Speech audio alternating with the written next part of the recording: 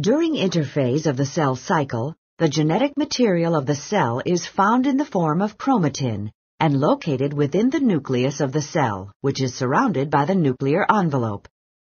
During the S stage of interphase, DNA replication takes place, and thus the cell leaving interphase and entering mitosis already has replicated its genetic information. In addition to the replicated genetic information, interphase cells that are about to divide also replicate their centrosomes. In animal cells, these centrosomes are formed from centriole pairs. As cells leave interphase and begin prophase, the first stage of mitosis, the chromosomes begin to condense. The nuclear envelope begins to vesiculate, and the centrosomes migrate to opposite ends of the cells to define the two poles. During prophase, the mitotic spindle apparatus begins to form by the polymerization of tubulin proteins. This creates microtubules that emanate from each centrosome.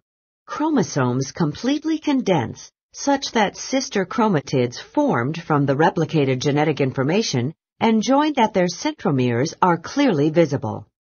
During prometaphase, the nuclear envelope completely breaks down and the mitotic spindle is formed.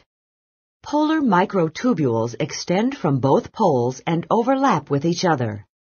The sister chromatids become attached to the mitotic spindle via kinetochore microtubules that attach to the kinetochores, which are bound to the centromeres. As prometaphase is nearing its end, the sister chromatids are observed to jerk back and forth between the two poles. During metaphase, the sister chromatids become localized in a region called the metaphase plate. Once the chromosomes have aligned at the metaphase plate, metaphase is complete. When metaphase is completed, anaphase begins.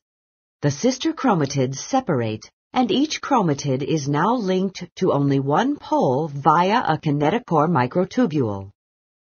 The kinetochore microtubules shorten, and the individual chromatids, now called chromosomes, are drawn to the poles. Toward the end of anaphase, the polar microtubules push against each other and cause the two poles to be moved farther away from each other. Each daughter cell will receive the same complement of chromosomes as was originally found in the mother cell, thus assuring that each daughter cell gets an identical copy of genetic information.